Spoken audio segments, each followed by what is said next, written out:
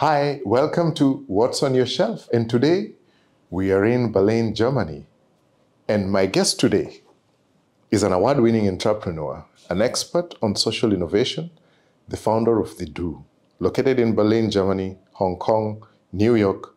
Florian Hoffman believes that we need to give people and businesses the tools to jointly create economic success through new solutions to the problems of our times.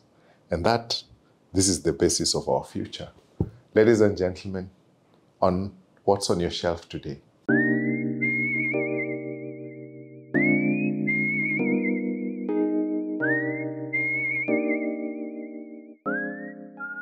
Thank you so much for allowing to sit with us and have a conversation on what's on your shelf. Thanks and for having me. I'm sorry, this I know is an ambush for this is not your entire shelf. Guys, I was in Berlin and I had to grab Florian for this conversation. So most of his books are at home.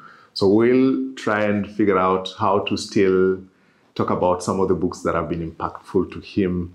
He is an author, and that is where we're going to start the conversation. But before that, Florian, for somebody who is meeting you today for the very first time, who is Florian and what do you do? Oh, that's a profound question. Uh, Mike, it's wonderful to be sitting here with you. So I'm a, am uh, a father, I'm a husband, um, uh, I'm an entrepreneur, I'm an investor, and I believe that we all collectively face big challenges in our world, for our environment, for our societies, for uh, the future of our children, and that with entrepreneurial effort, we can actually make a positive contribution.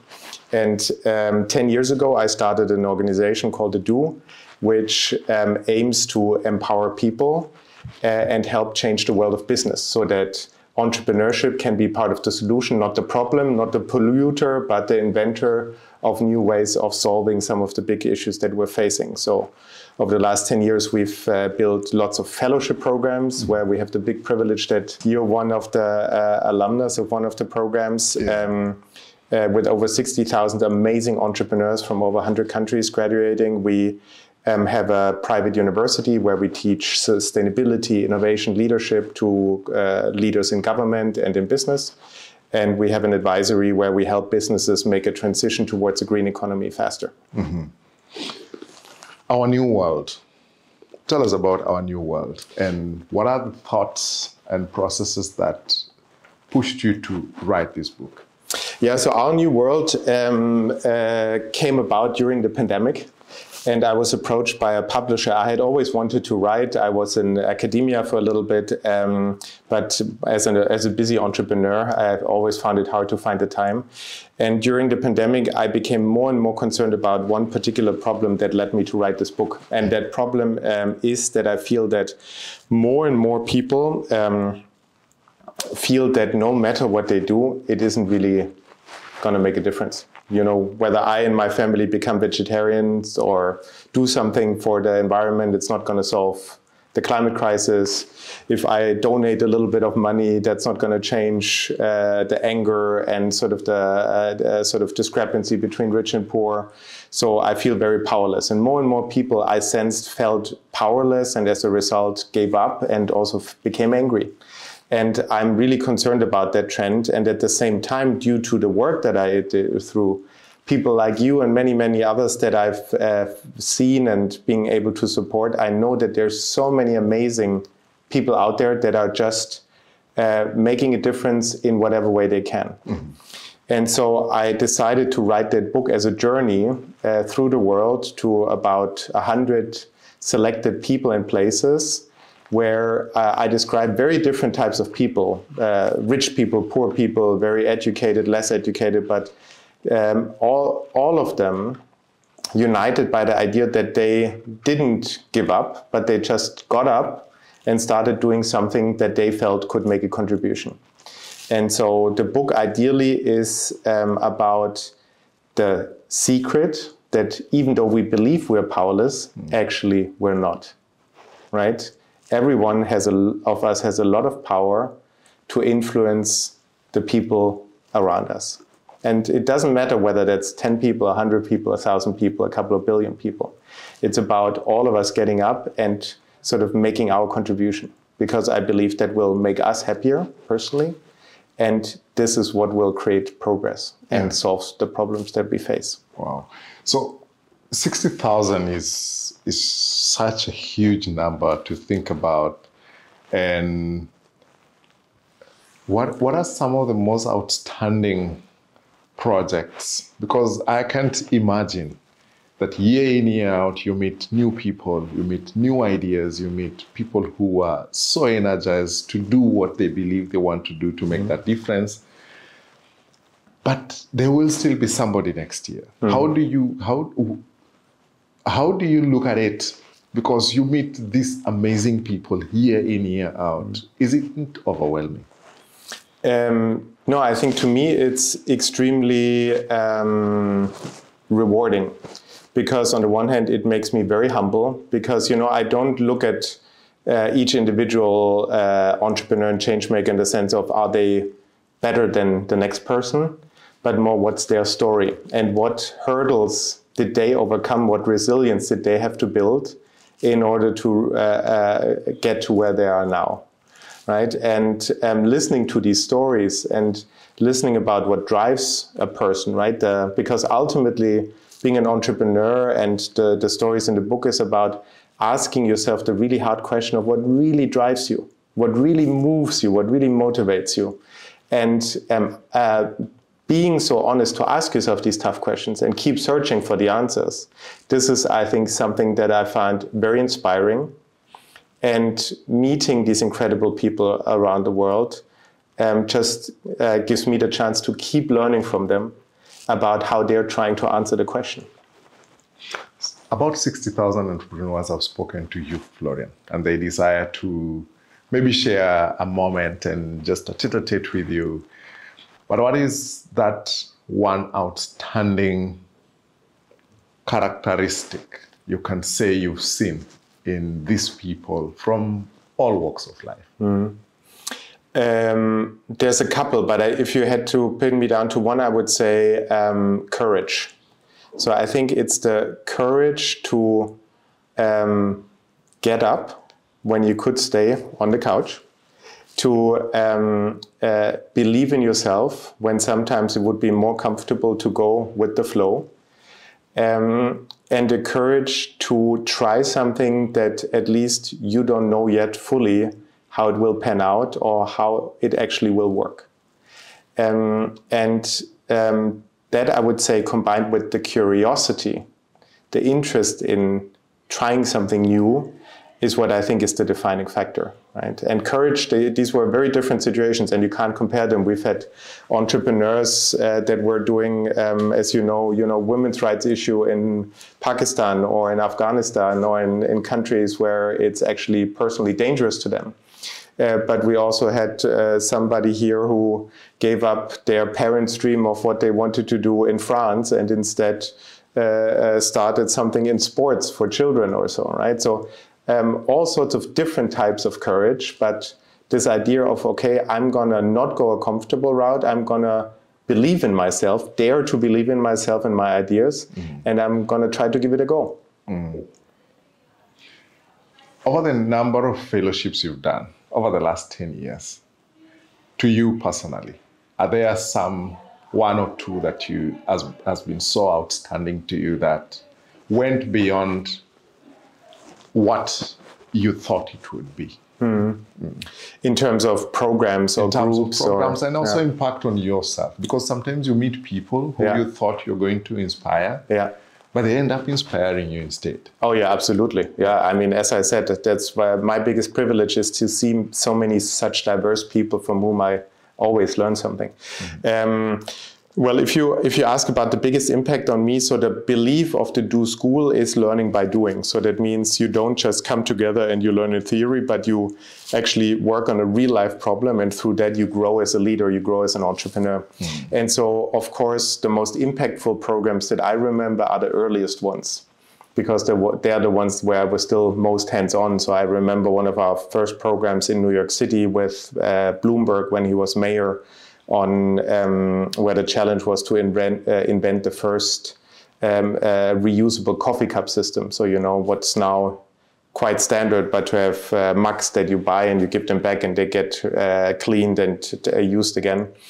Um, and I, I remember uh, fellows who were, you know, coming up with ideas, even though they came from all sorts of different continents and countries, mm-hmm. that a Starbucks in the US hadn't been able to think about before. And why? Because they looked at the problem with a fresh perspective with a group of diverse opinions.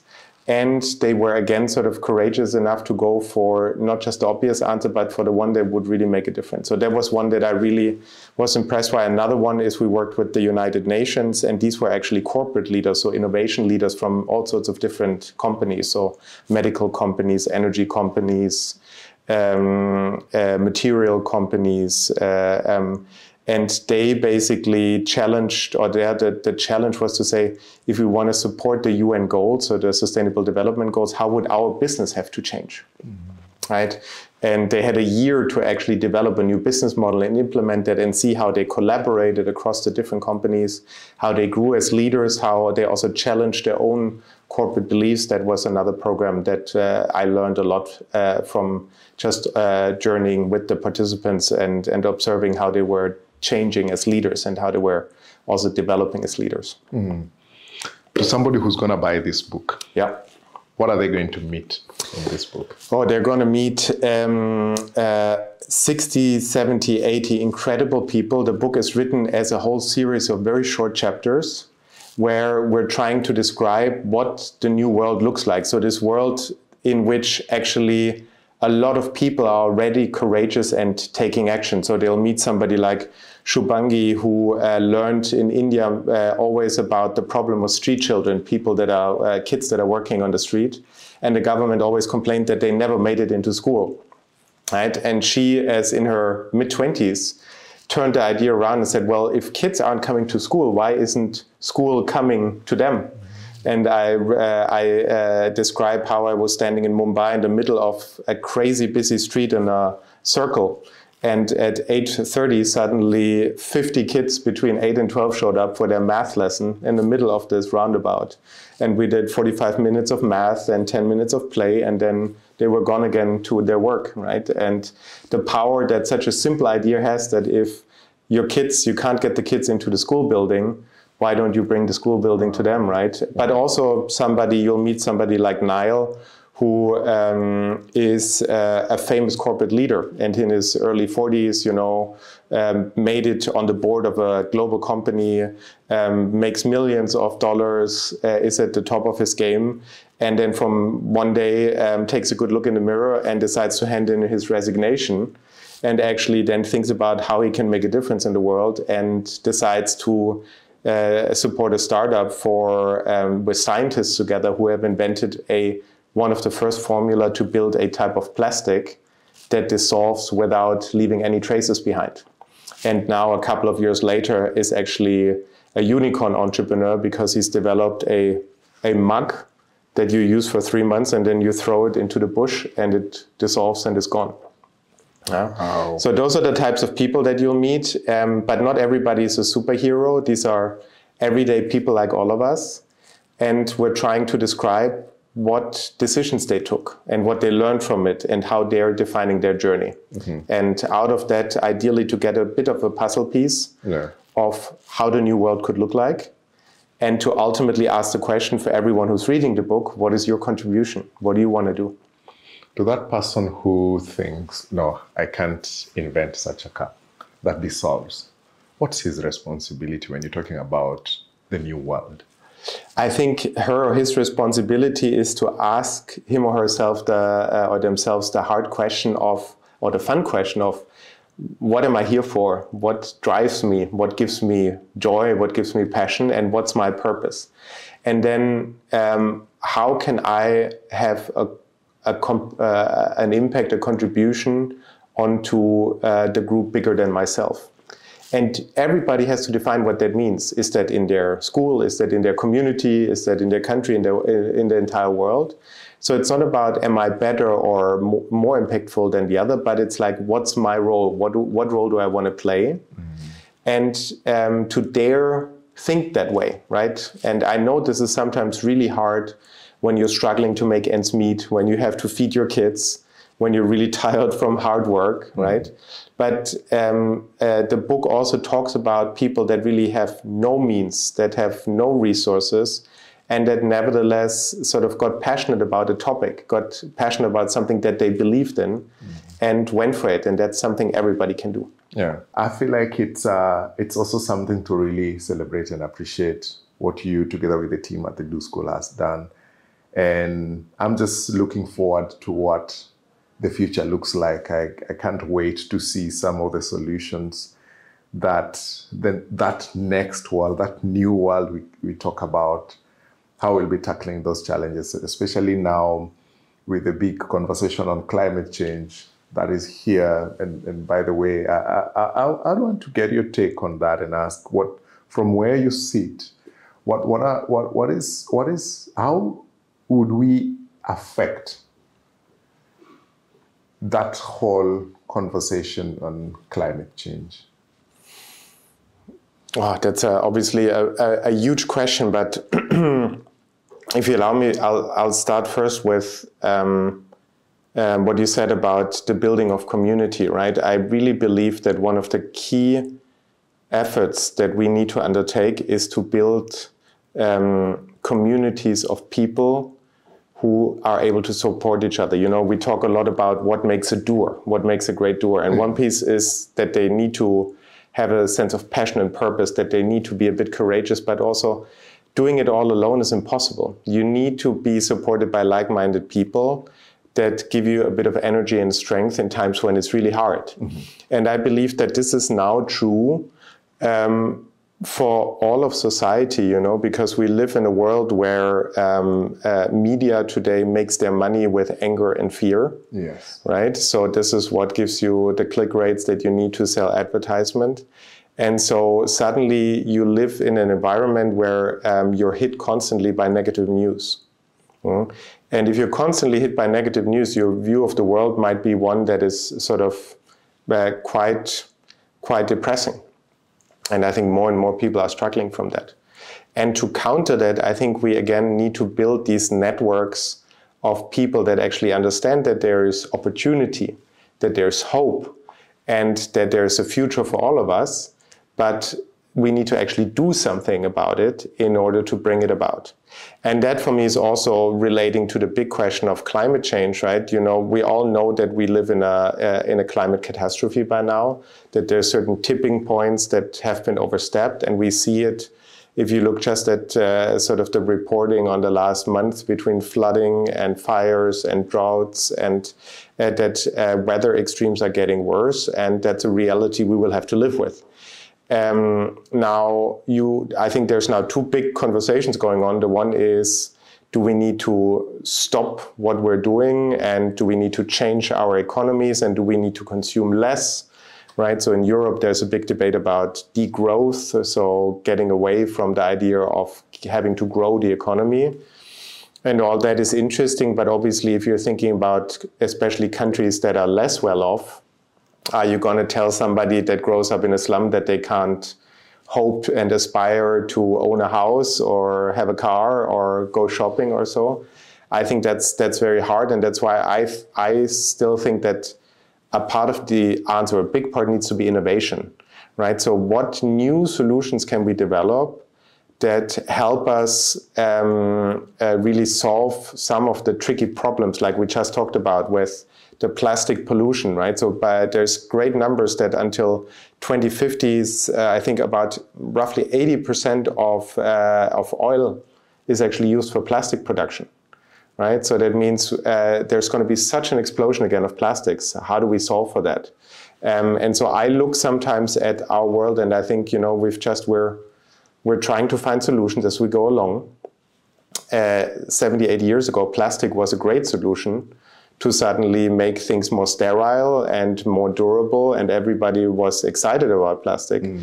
today we know that it actually has some very very bad uh, sort of consequences and so now we need to iterate and find the next solution Um, and so keeping developing, keeping learning, keeping solving problems that um, that create inefficiencies or that create negative consequences is, I think, for me the the best way and the the, the, the biggest promise for me uh, to move us forward also on, on the climate catastrophe. And I believe in people, and I believe in people's ideas, and that's what I why I do what I do. Mm-hmm.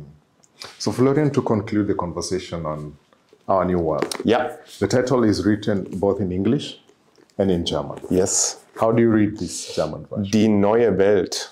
Die neue Welt. That's it. So did you have to write the book twice or you wrote it once and then translated? So I um, I actually wrote it in German because uh, it's a German publisher and it came out in German first and then it did reasonably well and then the, uh, the idea came to translate it and then um, we the publisher actually had somebody who did a rough translation and then I rewrote the English translation again. So mm-hmm. I did have to rewrite uh, write it twice, but that was actually fun. When you uh, build a book, um, you go through the uh, the chapters so many times. It yeah. goes through, through, so many transformations that you're so intimately familiar with it at the end mm-hmm. that then putting it into a different language is um, is is just one more step, but it's not redoing the whole baby. Okay.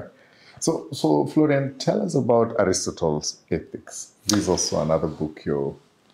Ah, uh, yeah. So um, I put Aristotle uh, on on the list um, because um, he he was for me uh, a very influential thinker in my twenties when I studied philosophy and politics and really thought about how do I form my my worldview. And uh, you know, when when we grow up and become adults, I think there's this a big question of how do we make sense of the world and under by what values do we want to live and um, uh, many worldviews have sort of a very set hierarchy of values right so some might be religious you believe in a certain being some might be uh, the most important value is freedom or is equality or is liberty right and so um, uh, very often people grow into value beliefs that define quite a bit of their lives yeah. based on sort of a, a, hierarchical structure of what their values are.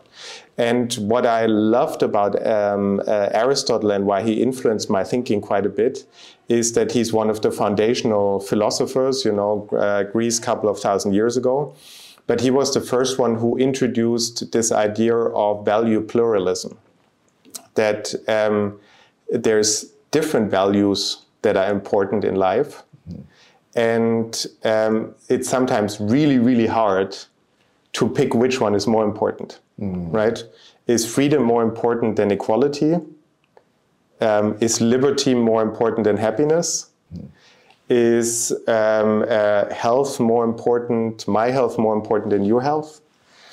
and how do we navigate that? And for me, um, growing into uh, sort of where do I have an impact in the world and how do I think about the world? You know, there were these two big schools of you have a very strong sense of duty mm. and certain values that are the way they are. Or there was uh, sort of a more modern school, they called it then postmodernism of, you know, nothing is real and do we live in a simulation and with AI, is it going to take all, uh, over all of what it means to be human? Yeah. Um, and Aristotle and the ethics, they taught me that um, it doesn't have to be the extremes, but you can have a, a set of values that you believe in. You can also believe in um, humans, you can believe in progress, but you have to be aware that there's conflicts also between goals and amongst goals and amongst values. And if you're aware of those values and the conflict between them, then that helps you to actually take better decisions. But it also makes you, I think, and that's for me is the most important one, makes you a more um, empathetic human being, right? Because you might have your set of values, and when you meet somebody who has a different set of values, mm-hmm then you're um, able to say, well, um, I still I thought about this a lot, and this is what drives me. But I understand why somebody else has a different point of view. I understand that it isn't one perfect situation, but that there are clashes and inconsistencies.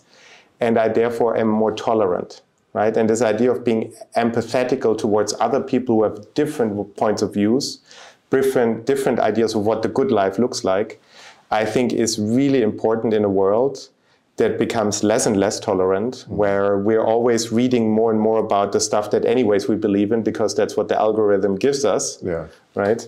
Um, and so that's why Aristotle, for me, was a very influential thinker. Today, you you lead an organization that is so vibrant and has, I would say, done has worked in various parts of the world. I love the culture in this place. I love how easy. Uh, when you walk into the organization, you can see people who are working with ease, but at the same time, the delivery on the things the organization does are seriously high impact. But I'm looking at that from a point of leadership. Do you find yourself in a place where this plural, pluralism you're speaking about, conflicts, maybe your value system, what you want to achieve in a certain project in a setup such as this? I do think that the pluralism is, um, for me, always a guiding reflection when I think about what are the, the values that really define me and the ones that I want my life uh, sort of to, uh, to strive for and being able to um, discuss that and reflect on that with other people, especially those who have a different idea of what the good life looks like. For that, I think pluralism is really important. And I do think that you can actually um, be, you can build really powerful, strong relationships and also um, sort of communities of performing excellence with people that have very different opinions and convictions from you. Mm. If you're able to say, Mike, you believe in this, I'm Florian, I believe in this, but on this part, we overlap. Mm. And here's something that we both think is important. Let's work on that and let's really try to be very effective in driving that forward. Right? And I think, again, um, in in the last years, we've been facing a situation that we, to a certain extent, for example, in Europe, thought wasn't possible anymore, right? War in Europe, uh, deglobalization after the pandemic, supply chains being disrupt, uh, disrupted so that people say, well, we have to sort things out on our continent, right? We don't want to be dependent on Africa, or we don't be dependent on Asia, or the US doesn't want to be dependent on China, right? And so there's a lot of thinking about uh, separating yourself again. Mm. And so I think, in a way, these um, thousand year old books from these uh, uh, Greek dudes like yeah. Aristotle, in that sense, are super topical today.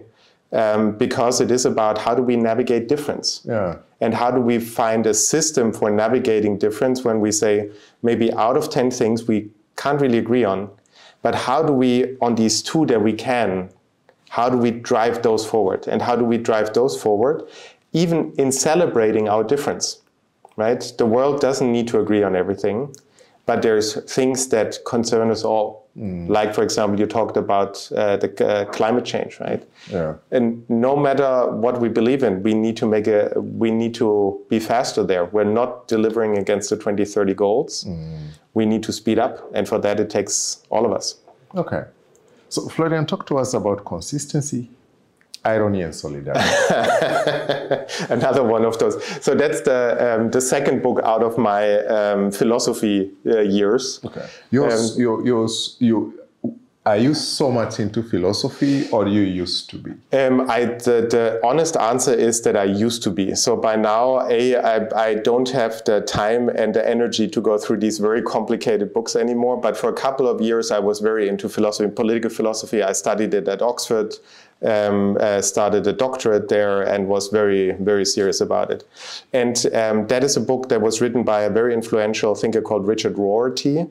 Um, from the US, and he um, uh, he he sort of took that uh, in a way that uh, whole part of how do we think about the good life and how we think about society a little bit further, Um, because uh, today you have, uh, and this is now, I'm telling it very quickly, but you have people who believe in personal rights and individual rights. And um, you have uh, uh people who believe in particular rights, identity groups, right? Mm. So, um, because of whatever happened to us, we have certain rights or not. And that sometimes clashes with the people who say, no, everybody is the same, mm. everybody has the same rights and duties and whatnot. Mm. And uh, Richard Rorty, again, um, was one of these uh, thinkers that I appreciate because he's trying to go into the gray areas, mm-hmm. right? So, um, and the way he went into the gray areas is to say, well, actually, to say we live in a culture free world where everybody just has by law exactly the same rights is not realistic because culture and identity permeates everything we do and we have to be a little bit ironic about it and we have to look at ourselves uh, in a way that makes us sometimes maybe laugh and not take ourselves so seriously. And when we get to that point then we can actually try to create fair systems even though we understand that the perfectly correct way of saying everybody's the same might not even be possible, right? Mm. But that um, that if we are able to look at ourselves with irony and our own situation with irony, um, and don't take ourselves so super important, that again will make us more empathetic towards the other, mm. towards people that have other opinions and other worldviews and want to do things differently in society. And if we're all like that, then we are able to um, greet each other with sympathy because we know that we're not perfect. And then we'll find ways of coexistence that will give all of us the opportunity to have a good life. Mm. With that as a, at the hindsight, Florian, these two words, fairness, equality, what do they bring to you? So, um, so obviously, I do believe in equality of opportunity. You know, one of the big uh, reasons why we started um, uh, the the fellowship programs for young entrepreneurs from around the world, and you know that they're extremely competitive. Thousands of entrepreneurs apply to get a, a couple of spots, mm-hmm. but was exactly because we felt that. Um, you know, you can go to these um, really prestigious universities to study, but usually, the people who make it to these universities are privileged people, no matter where, which country or what skin color or what religious background, mm. but they're usually privileged people in their society. And we believe that good ideas and strong entrepreneurial ideas come from all walks of life. And the more we increase diversity, the more each one of us will benefit from that because the entrepreneurial skills that somebody has who grows up um, in, in a township to somebody who goes to Harvard Business School are very different, mm. but they're both super relevant. Yeah. So if you bring those two people together, they will learn a ton of stuff from each other.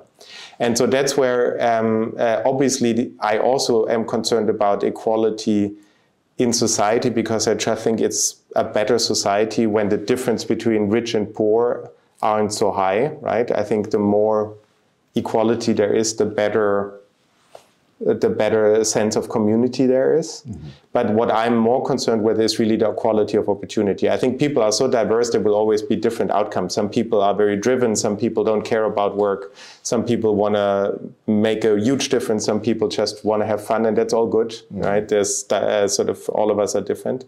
But I think the op- sort of the idea that everybody should have ideally the same opportunity um, that is something that I, I strongly believe in and that I'm also trying to work on, right? That's why I also think there's, in all of these things like technology, there's amazing opportunity, mm-hmm. right? We, you know, we have uh, um, uh, some fellows who have built these models of training youngsters in Africa or in Southeast Asia or in Latin America in very income poor environments tech skills and suddenly they can get global jobs with really good pay and so just one example of how yeah. technology levels the playing field. Yeah.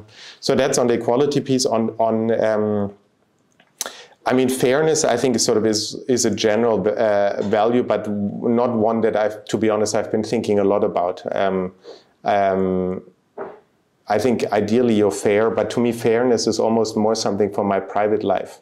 Am I fair to my partner and wife? Am I fair to my um, to my children, in the way I raise them, in the way I look at them. Um, for the for the business world, not something that I think too much about. Okay.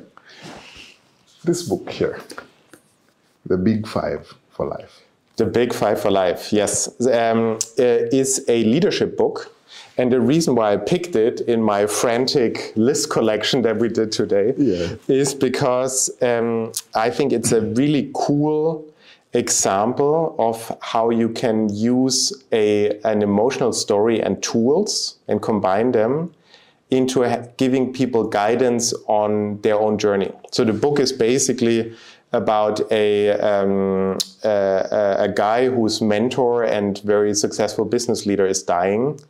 And he tells the story of his mentor and how he actually became successful as an entrepreneur, not by being terribly interested in um, being the best entrepreneur, but in being actually really invested in the enterprise of making a good life for himself and others, and how that created the community, the energy in his businesses, and the friendships that ultimately made him a rich man.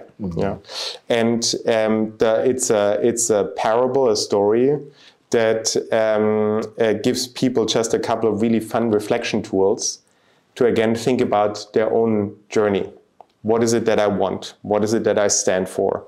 What is my purpose and how do I try to make a difference? And how can I sort of actually make what drive, what thrives or what makes me thrive, what makes me flourish, or you know, Ken Robinson calls it flow. Uh, what the stuff that gives me flow, that makes me happy. How can I make that the majority of my time? right? And how can I turn that into a career, into a, a business, into a work in a company or in a government or in a social sector, right? Um, that's what the Big Five for Life is about, and it's been massively successful in Europe and the US, sold a couple of million copies, mm-hmm. and I think it again shows that all of us are looking for this, right? Nobody gets up in the morning and says, I don't want to do f- work that's that's uh, that's fun, right? Or I don't want to make a difference, or uh, I couldn't care less about the world, right? Um, uh, obviously, there's a lot of people who are just struggling with realities, and then there's people who I think still are have been brought up in incentive systems where it's important what how much money they make and what their title is. And I think we can, to a certain extent, I would argue we can free ourselves from those sort of outer pressures and really listen to ourselves what moves us, what it is that we want to do with this time on earth, and how do we drive those ideas forward. I, I want to, to reflect that on, on your journey. When you started, you had a dream, you had a desire, you had a vision. Has that changed over the last 10 years? Um, the, the vision hasn't changed. Namely, the vision was always to say um, business and entrepreneurship have to become part of the solution and not part of the problem.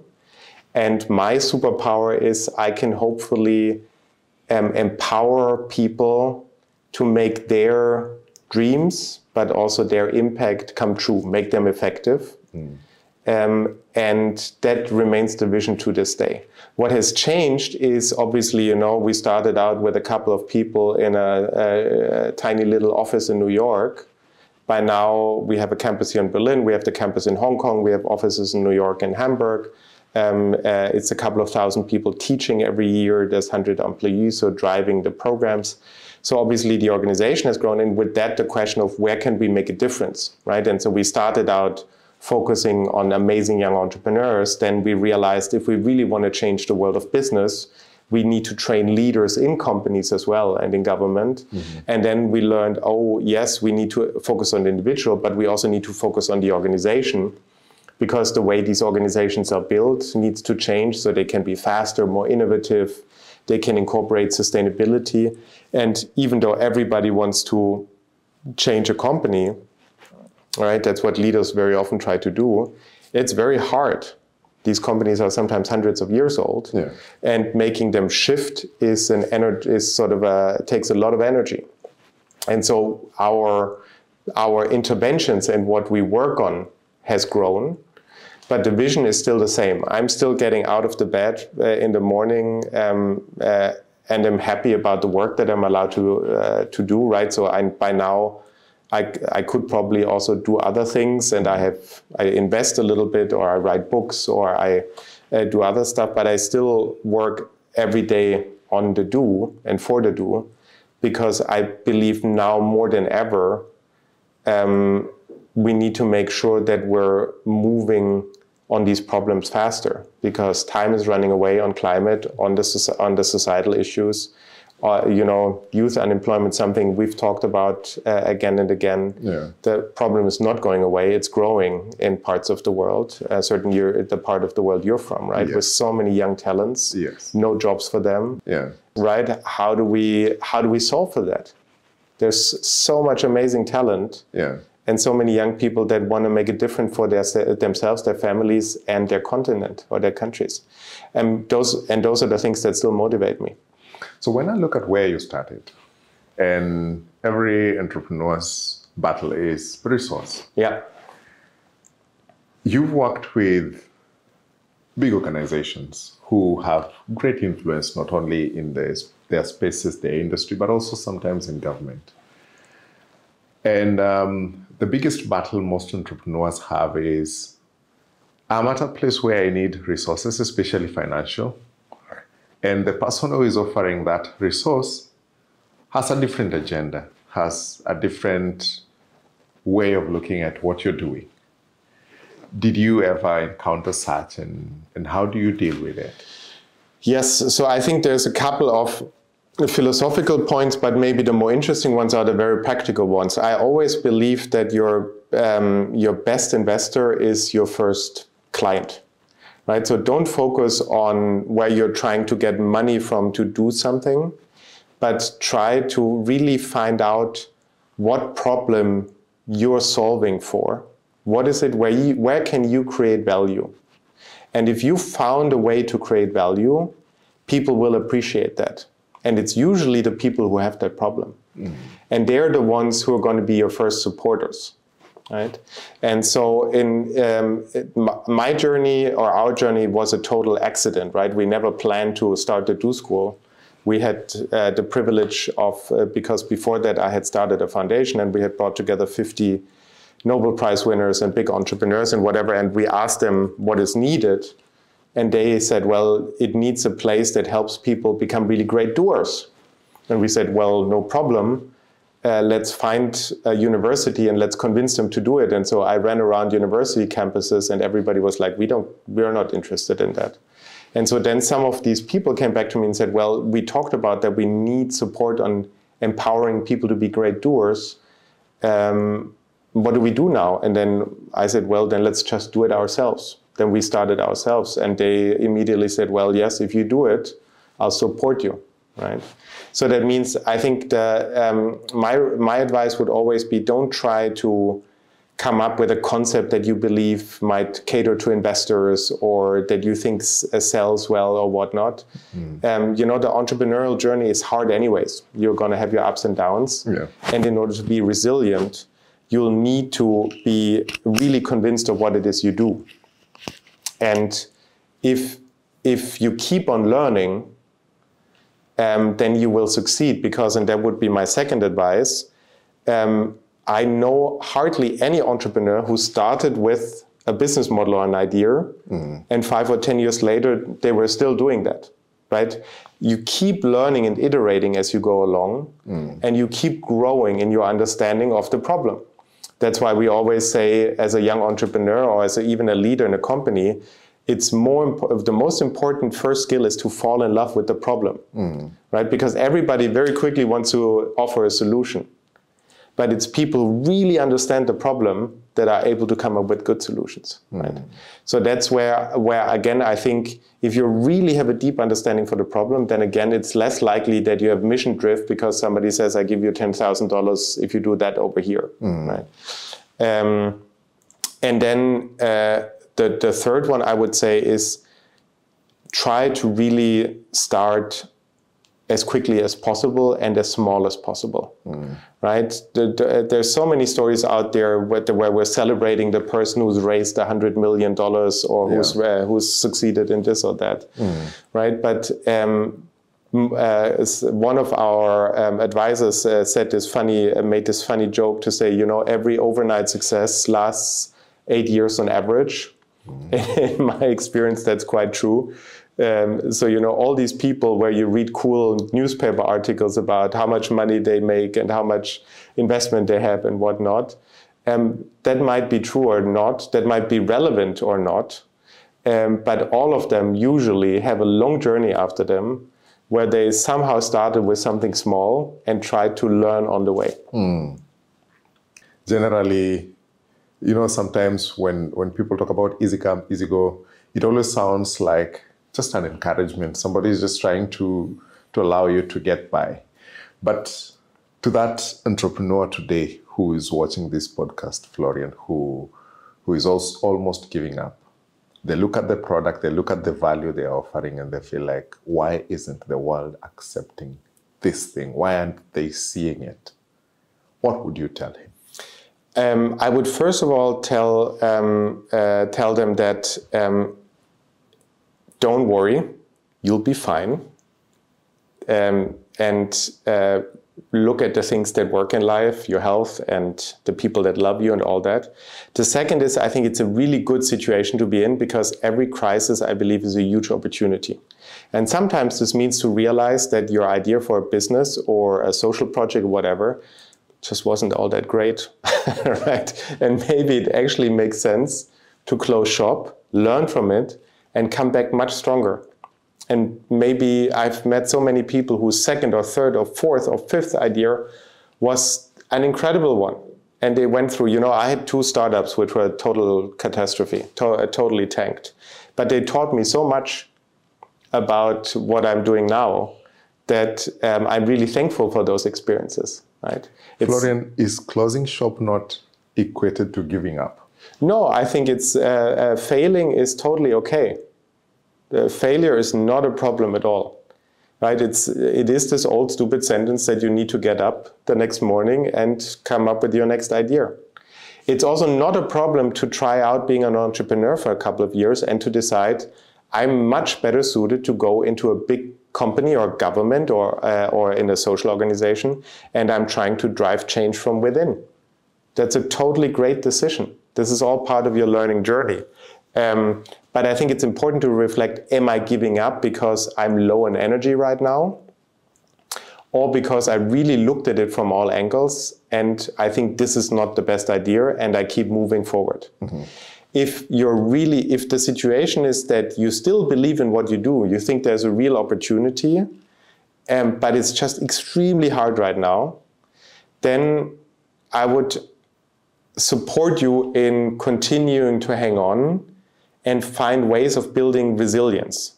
Because every entrepreneur's journey is about um, those ups and downs. And i think then the question is what is it that you need to learn that you haven't learned that will get you out of that slump? Right? Because the other bit that makes being an entrepreneur a great experience is you have to keep learning every day. And you also know that there's much more you don't know than what you know. Right? And where do you find that next piece, that next nugget of where's that person that you can learn something from that can help you to get out of this problem? Right? And ideally, that is those are the people that will support you, that will be a sort of uh, um, ideally open to helping you out and giving you the energy that you need to build and grow resilience. And then the last thing I'll say is, um, if you're down, even though you believe in what you do, try to find like-minded people. Right to our question, coming back to community, try to build a community and a support system around yourself that will help you to get also through the tough times and that you uh, can celebrate your successes with. Just to move forward, and I want you to talk to us about the book Principles. Uh, Principles. Principles is a super weird book and a super interesting book. It was written by Ray Dalio, who's sort of one of the world's uh, most famous investors. and um, uh, it's um, a book where he um, described the principles by which he um, built his company, which is um, a um, extremely successful company, and how the same principles apply to his life. And it's a little bit a nice uh, uh, journey that we talk about it after the Big Five for Life, you know, because um, obviously, I'm, I was always driven by what do we as individuals need in order to succeed, to have a meaningful life, to have the skills that help us thrive and uh, um, and be be useful and uh, enjoy ourselves. Mm, but more and more, I obviously also got interested in um, what does it mean to be a good leader? What does it mean to build an interesting organization? What does it mean to lead a, an organization? And there's, you know, as you know, there's thousands and thousands and thousands up on uh, leadership books out there. And uh, a lot of it I feel is really not interesting to me. Um, but uh, why I like principles so much is because Ray Dalio is such an extreme person. So he has quite um, uh, extreme points of view. So, for example, he's obsessed with transparency. So they have a system in which they um, have to um, basically on investment decisions um, uh, always um, sort of the decision making is always uh, um, uh, observed and uh, uh, recorded and then um, shared with everybody. So I know how you um, decided on each investment and whether there was a good decision or bad decision, right? And so everybody knows about everybody's performance all the time. Um, and which for him was one of the drivers of how he built an organization that was learning very quickly right from the mistakes that we were that they were making. And so i think it's not about do you always agree with him or do you always agree with principles but it's a very specific point of view of how to build an organization.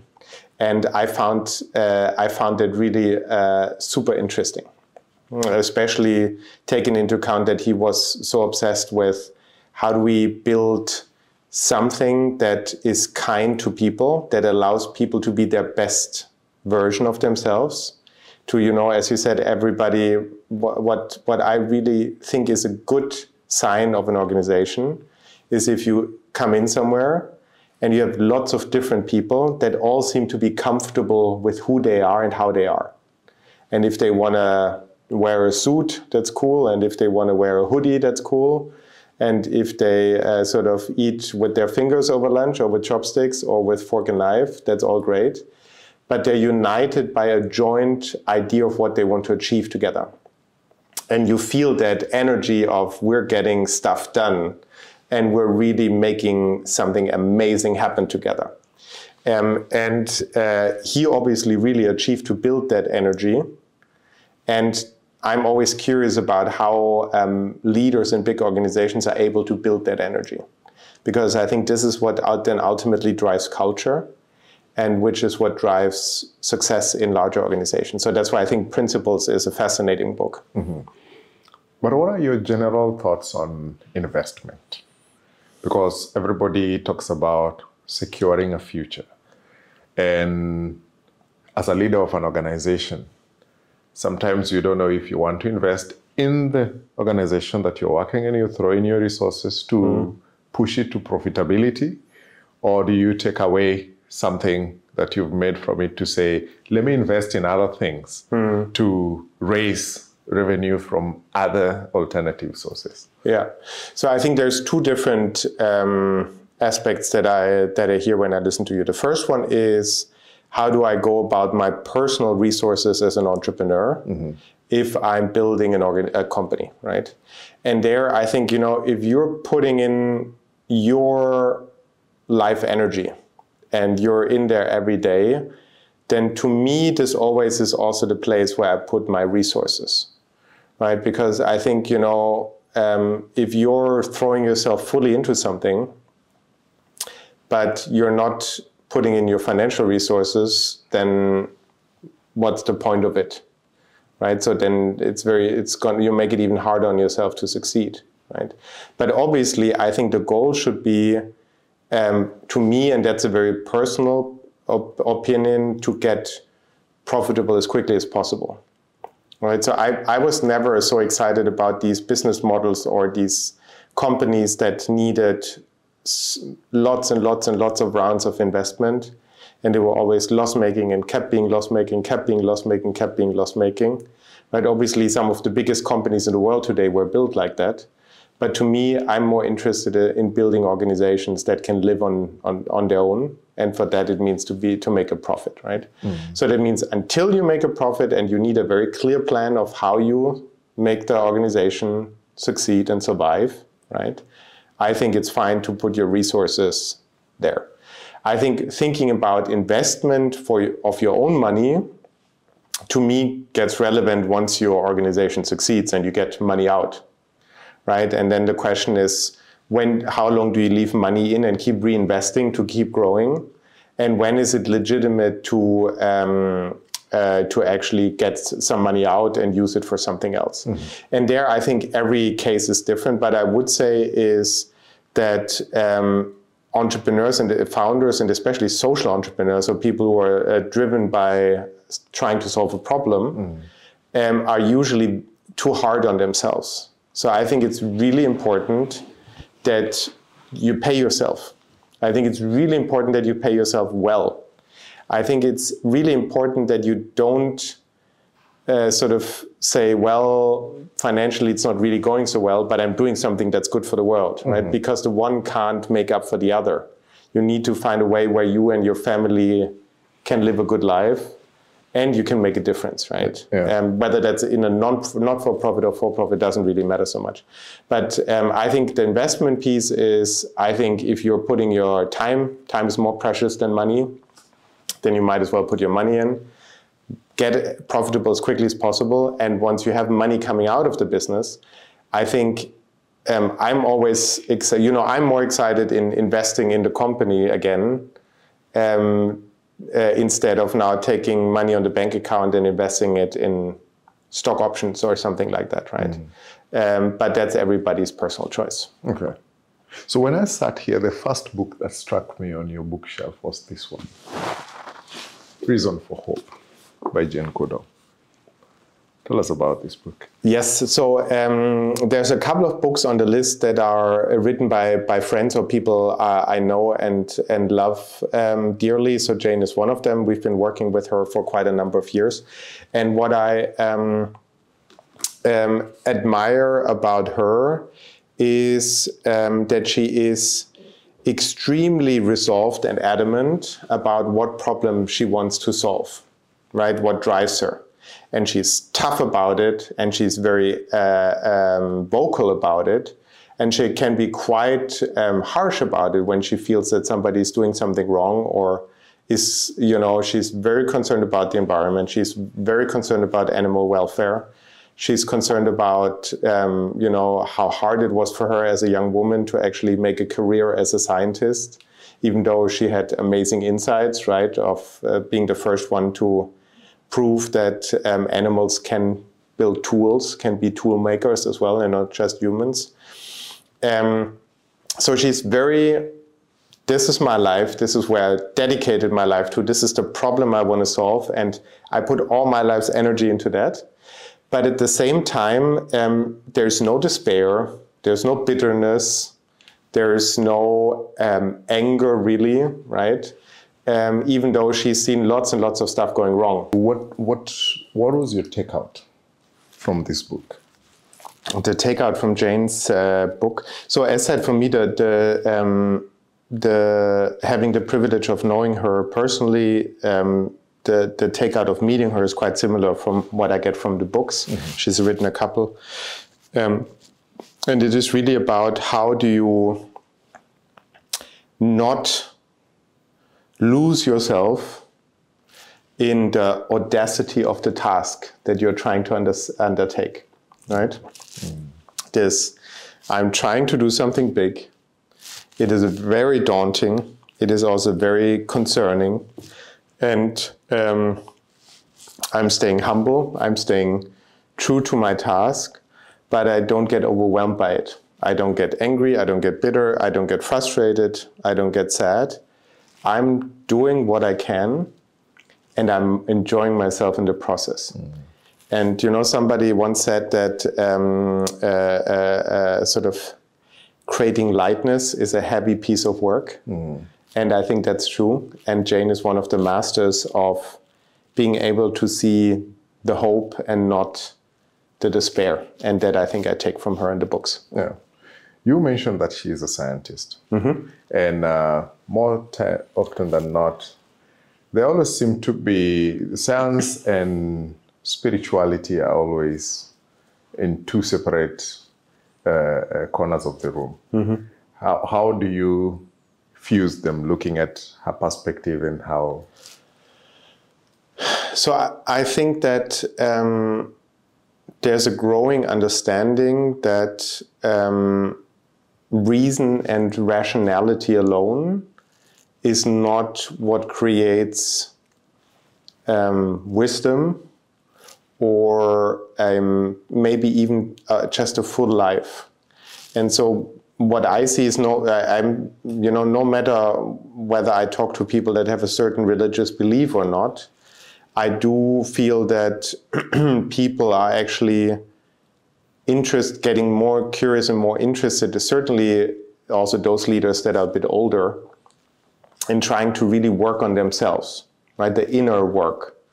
And I think the inner work is where um, also spirit, uh, spirituality sits as a topic, right? Um, and for me, therefore, I deal with a lot of people who are very, who have very high-powered jobs, who have uh, very big responsibilities, who are scientists or government leaders or mathematicians or whatnot, and who are deeply involved in the question of who are they, how can they better themselves, how can they understand their own needs better, what's happening with them when they're not here anymore. And uh, so I think this idea of having to nurture yourself, especially again in a time in which many of the challenges we're dealing with seem, seem quite overwhelming, is something that is, uh, uh, I, is, I think, becoming more important and more people are open to it.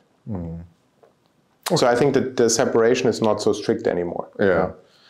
So, Florian, one of the books you've spoken about is The Goddess of Small Victories. Tell us about the goddess of small victories. So the the, um, the goddess of small victories. It's um, it's a book that I also have a special relationship to because I know the author, and I really like the book because it's one of those books. There's a whole genre which takes a a factual history or biography and turns it into a fictitious, uh, fictitious uh, story, right? So in that case, it's a book about the wife of Gödel. Gödel is one of the most famous mathematicians.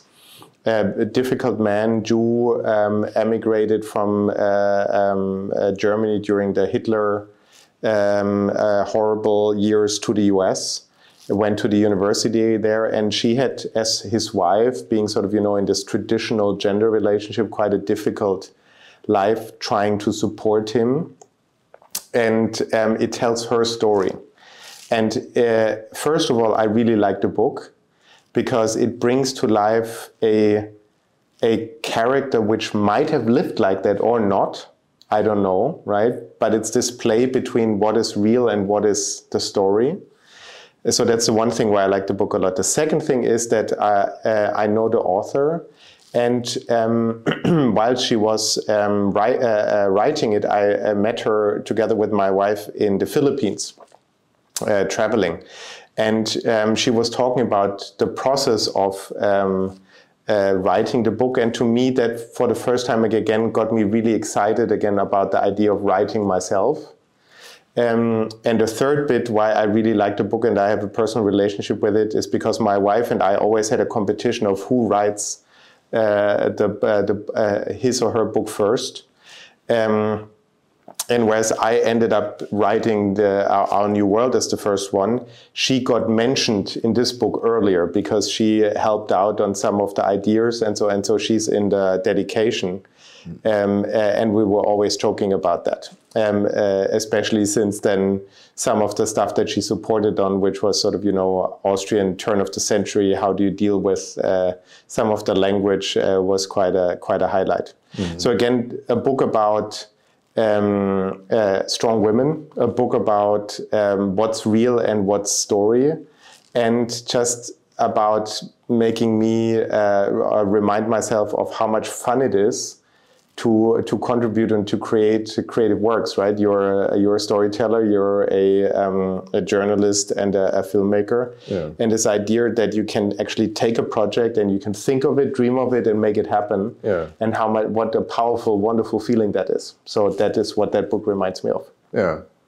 But talking about ability, uh, Florian, most of the time you've met people who um, are dreamers and they're chasers. But as well, you've met people who are dreamers but aren't here chasing. What, what has been that one thing that you tell them, this person who is a dreamer but is yet to chase, hasn't, isn't a doer, let me mm-hmm. use that word. Yeah. What, what, what, what do you input in them to kick them, to kickstart them so um, it's a great question. I think a really difficult question. So I think um, I think it's very hard to convince somebody to get going. I think that conviction and that urge has to come from within. Mm-hmm. But I do think that you can create a supporting environment where you take a little bit, maybe away some of the fear of what it would take to get going. And, um, you know, where, where, um, what, what I always say is if, if you have a if you have a dream or you are a dreamer but you're not moving on the dream then obviously you make a very rational argument of why it might not be the time or it might not be the place or it might be too risky or it might be weirdly perceived by your loved ones or whatnot mm. um, and i'm just trying to help that, that person to think through what the risk is of not doing it right? If you have that dream and you're not following through on it, um, uh, and uh, um, then that's that's a real risk. And thinking through that perspective, and often, you know, what the examples that I bring is something that we call a, a journey uh, from the future, right? Where you're where you're say, hey, think of yourself, Mike, and you're sitting here. It's 2030. Uh, your youngest kid will be what is it like uh, seven years old or eight years old, right? Yeah. Um, you're, you're, sitting there, and how does your life look like? Right? What do you do? How do you? What do you eat? How, uh, what do you wear? Sort of where do you live? Um, and now think about that in a way where you've gone for that dream and it's worked out. Um, and think about if and you've gone for that dream and it hasn't worked out, and you've never gone for that dream.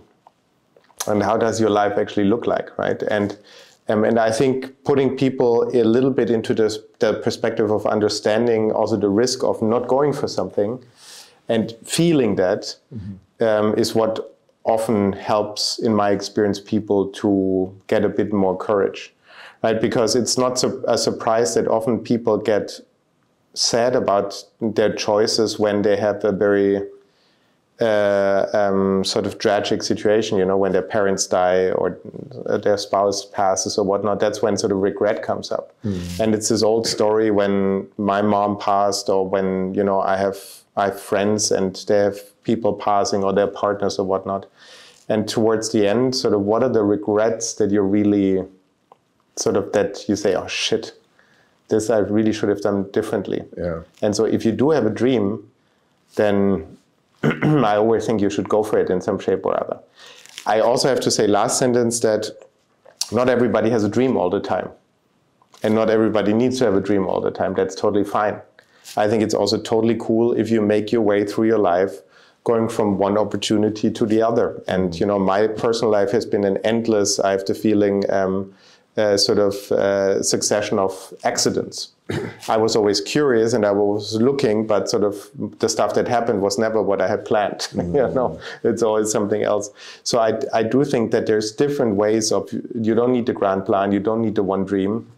Um, but I think it's about being open to opportunity and keeping asking yourself what it is that you really burn for, what it is that uh, gives you gives you passion and joy. Yeah, but I want to ask you, Florian, you're running an uh, an organization is in, that is in multiple countries. You have challenges you're trying to solve each and every time. You have a family, you have people who depend on you.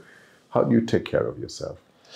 So, the, so I definitely think that that's a challenge. Uh, if you're so in general, it's a challenge if you're very driven by a problem, and especially I think if you're an entrepreneur and a founder, because being a founder tends to be quite lonely. Yeah. It's very hard to to talk to other people about your experience. Um, and so I definitely had a couple of years in sort of the uh, very hefty build-up years where I didn't take very good care of myself. So if I look back at my 30s, um, then I would say that's probably the one regret that I have is that I just I stopped doing sports. I stopped taking care of giving myself time to just be and and relax and because I was so in the grind and so driven and every day and hardcore and uh, if as much as I could. And that obviously also led to the organization probably growing so quickly. Mm. Uh, but I think it's really important not to forget yourself in the process. Um, because being one year faster with the organization, if your health is gone, is really not a great trade off. Yeah. Um, and uh, so I think for me, the challenge, and that, that depends a little bit on your personality, but for me, what I'm really interested in is because I'm quite an extreme guy. I have lots of ideas and I go for them and they give me energy. Mm. And so for me, the question is how do I create balance in my life? How do I create a state where I have the feeling that I'm, um, I have fire, but I don't have fireworks, mm. right? It's not about the singular bang, bang, bang, bang, but it's a constant flame. Yeah. And for that, it's about regularly taking care of myself, and that means having a rhythm, right, where I have my sport a certain times a week, where I have uh, whatever it is. If I have to go to the doctor or physio or whatnot, I have that. I make time for it. Um, where I have time for my family, mm. for my partner, for my friends.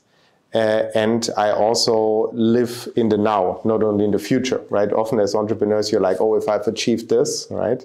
But as we all know, life is happening right now. We don't know what's happening tomorrow. Yeah. Go to that concert. You know, you can work hard, but then you can go to that concert, or you can go for dinner, or you can go take care of your mom or dad, or whatever it is, right? So I think with me, balance comes through discipline. Um, and the, part of the discipline is a discipline of taking care of yourself. Let's talk about the Book of Joy. Desmond Tutu and Dalai Lama. Yes, so goes into a similar direction as Jane's book. Um, I, I, had the pleasure of, um, or I know both of uh, of, the, of, the, gentlemen. Obviously, um, Desmond Tutu no longer with us, but um, um, met him a couple of times. And even though they're obviously different, they are united by sort of uh, having a strong faith. But what I found um, really fascinating about both of them and what the book is describes in a very nice manner mm-hmm. is sort of this idea that these are people who deal with very serious tasks right say they have um, very um, uh, high reputation roles they have enemies they have supporters they're considered well were considered wise men they um, experienced a lot of hardship in their life um, they um, uh, took unpopular decisions. They were in roles where they were often quite lonely. And nevertheless, when you sort of listen to Desmond Tutu, um, I don't think I've met anybody else who, in giving half an hour speech, was giggling more than this guy. Right? So there was so much fun and childlike enjoyment every time I met him. And um, the same a little bit with the Dalai Lama. So I once had a dinner in the UK with the Dalai Lama, and somebody over dinner asked him how he knows that um, this was a particularly good day for him. And you know, he's a, obviously um, a Buddhist, so harming no um, no creature is one of the credos of the faith. But what he answered was, you know, I know that it was a really good day, that I was in a really good mood, if when at some point in the evening a, mos a mosquito was trying to bite me, I let it happen. I realized a mosquito gotta have his or her dinner too. and to me, that was, you know, it's such a nice description of um, um, how much, how generous you can be, but also how much fun yeah. you can have with uh, topics that are actually quite serious. And whereas I think Jane is sort of the, the driven activist that has sort of this one topic, but she's able to rope people in in a hopeful manner. Mm-hmm. I think what the two gentlemen to me always personified was that um, there's mm, there's it's your duty or your ability to enjoy and bring joy to others in every moment of your life, no matter how hard it might be. Yeah, and um, and I think their lives and their characters is a celebration. I've seen them standing next to head of states, and you know everybody was looking very serious and very grumpy, and those two were giggling, and um, I find that uh, wonderful. Mm-hmm. So how, how would you describe your reading habits? So I'm um, I, have always been actually as a kid I hated reading uh, and then at some point it clicked and from then on I've been reading like crazy. I read extremely fast. So um, uh, and that sometimes means I don't read very thoroughly. Uh, um, which also means that sometimes books that I really love, I read them a couple of times. Um, I usually read between one or two books a week.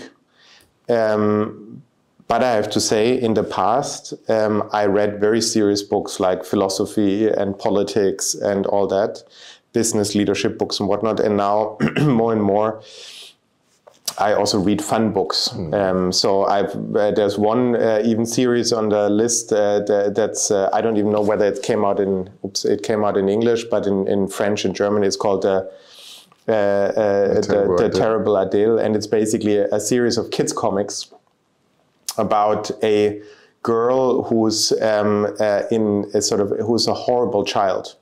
And the whole, you know she has a cat. She's uh, the whole one book is just about 50 different ways in which she's trying to kill the cat or sort of drive their, her parents to uh, exasperation and um, this is stuff that not I, I love for two reasons nowadays one is because I have a, an incredible daughter, and I read now a lot of stuff with her. So I have to read all the Harry Potter books up and down, and so we read to each other a lot. And now she's starting to read to me, but I read to her a lot. And um, and it's amazing then to see how your children are develop their own preferences around humor around you know irony or cynicism or can I actually laugh about that kid trying to kill her cat? Is that cool or is that actually wrong? And yeah. um, so by now, long story short, I read a lot of light-hearted things as well, and especially enjoy reading aloud with my daughter. Mm-hmm. So how do you determine what do you want to read next? So um, either um, friends um, that also read a lot put me um, onto a new good book Mm. Or I do go through the lists, right? Sort of the big New York Times lists, Economist lists, also um, what's currently out there, especially in our field. Is there around organizational transformation, leadership change? Is there around supporting entrepreneurs? Is there amazing new books that help you think through new ways to innovate around sustainability, the climate crisis? Um, but also, I'm I'm always reading very widely, so I'm not a person who would read 20, book, uh, 20 books on the same topic. But then I read one around AI in China, and at the same time, I read one on sustainability. And then I might read a uh, sort of a, a book, the book of poems of uh, um, of Cohen, sort of one of the um, the great musicians uh, of our time who passed away, and I'm reading them in between each other and at the same time and uh, it's and yeah and by now i also because i travel so much i read a lot on my phone. Mm. and then also just sometimes just fun books. Which was gonna be my next question. Do you prefer physical book or you the digital stuff audiobooks what's your so preference i definitely prefer physical books because i love so at home i actually have massive bookshelves and i've ordered them by color and um, i love having books and beautiful books are something, you know, if I think about my possessions and what I would really need and want to take along, it's probably stuff in my kitchen and my bookshelf. Right. The rest, I don't really. I mean, maybe a couple of paint art pieces yeah. that I have, but other than that, I don't really care about a certain sofa or a certain tech device or so. But yeah. if I would move somewhere, I would need to take the books that I love with me. Do you have like a favorite genre of books? Um, no, I said so. I do read, tend to read more uh, non-fiction books than fiction books. Hmm. So, um, but um, I also, for example, have a terrible habit of liking to read certain um, fantasy novels and stuff. So just you know, light reading, Yeah. um, something fun in between. So I read really all sorts of different things. Most of the books we've spoken about, uh, you've met either the the authors or you know the authors in in, in person. But do you have uh, a favorite author? Do you have people who you like? Um, I have a couple of favorite authors, but it's I don't have the one. So the one book that was on the on the list that we haven't spoken about is a book called Discovery of Heavens, which is by um, an author that. Um, I admired very much when I was a teenager. So the author is called Harry Mulisch. He was a Dutch gentleman, and he wrote this incredible book that is part uh, a book about two friends that grew up after the Second World War in Europe and um, about being left or right wing and being an, uh, uh, an sort of an artist versus a, um, a scientist, about uh, falling in love with the same woman and going to Cuba and meeting Fidel Castro and all these amazing things. And at the same time, it's a uh, it's a fantasy novel around. Um, uh, the idea of God and how God influences the real world or not. So I loved that uh, book as a as a teenager, and I loved it so much that I wanted to meet uh, that author. And so um, I, I um, devised a plan um, and actually uh, worked as a uh, in a in a production company um, when I was sort of 18 or so. And um, uh, I, um, I just called up the, the agent of that author. And I said, well, I'm calling from a television production company and can I make uh, do an interview with uh, Harry Mulisch? And the agent was like, well, you know, of course, that Mr. Mulisch doesn't give interviews anymore for the last five years, but actually because he's turning uh, 75, he would make an exception and do a birthday interview. Uh, but uh, am I right that you're calling from the um, German public television station? And I'm like, uh, oh yes, oh yes, no problem. And then I um, finished the call, then panically asked uh, the the guy who was running the production company to call the German public television station, which obviously once they knew that this author would give them an interview, They would. bought that interview from us. And so I traveled uh, to Venice to a very famous hotel in uh, which Thomas Mann, another famous author, had stayed, and he stays stayed every year. And so we did this um, interview in a beautiful ballroom. Um, and to be honest, I didn't care at all about the interview. I just wanted to be done with the interview so that I could ask him about what it means to be an author and what I can learn from him. And so it was a very long interview, and then at one point it was done. And I said, "Ah, Mr. Mulisch, could I ask you just a couple of questions? And he's like, Well, you know, my wife is waiting and my kid is waiting. I really got to go. What do you want to know? And I said, Well, um, how does one become an author? I, I think I want to become a writer. Uh, you know, I was 18. How do I become an author?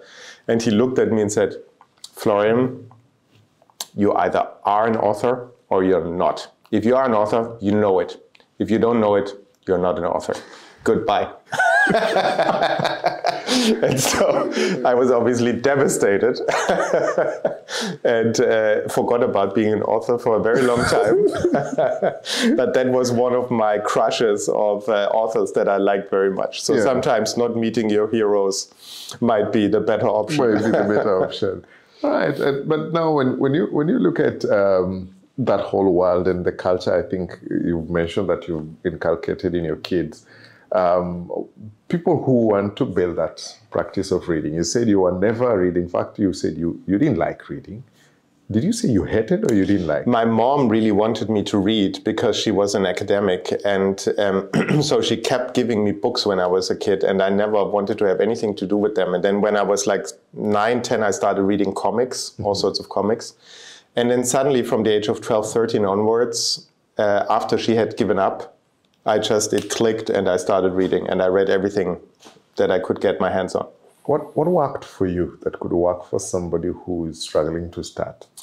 Um, oh, I mean, I think it's just about um, finding finding a world that you are curious about, right? Because the beauty of books is that you learn about the world in a personal manner without being there. Right? You, you can, in one life, you can live a million lives if you read a million books. And that no other medium, I think, can give you because the fantasy in your head is so much richer than what you watch on the screen. Yeah. Um, and so I think the, que- the question is not does somebody want to read or not. The question is what world are you curious about that you want to learn about? Right? Yeah. And obviously, some some kids or adults or whatnot never had the opportunity to get exposure to uh, these other worlds. I think so. As always, try to be a bit curious and look into stuff that you might like. Yeah. And and you also as an author, does it worry you sometimes that there will be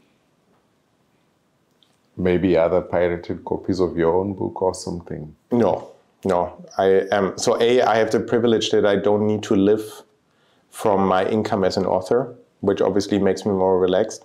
But and and to me, sort of, you know, the reason why I wrote the book is because I wanted to reach as many people as possible, and also ideally people who are not already thinking like that, right? People who might not be the ones anyways who already like you out and about changing the world, but people who reading the book might get courage to start uh, start and do something different. And so the more people see it, the better.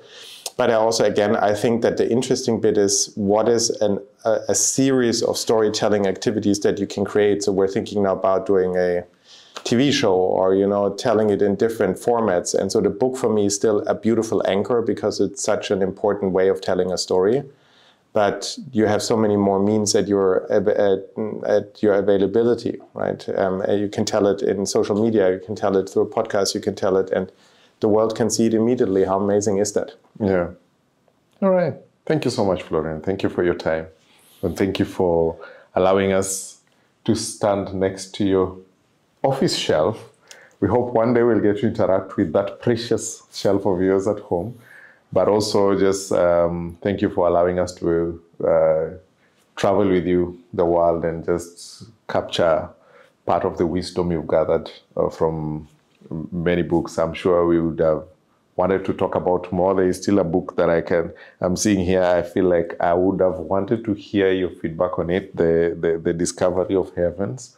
I don't know if you can quickly talk about that as we close. Yeah, I'll, I'll briefly talk about it, but I would close, if it's okay, with another book. And that uh, book is one that is also very dear to me by um, uh, an author from the Netherlands, also called Rutger Bregman, and it's called Humankind.